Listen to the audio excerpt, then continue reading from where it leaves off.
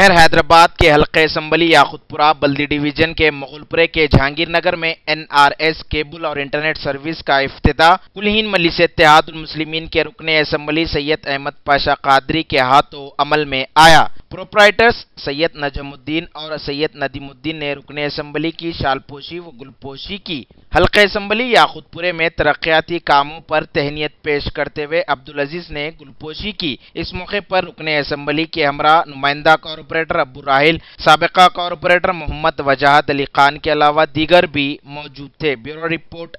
the Hyderabad Express.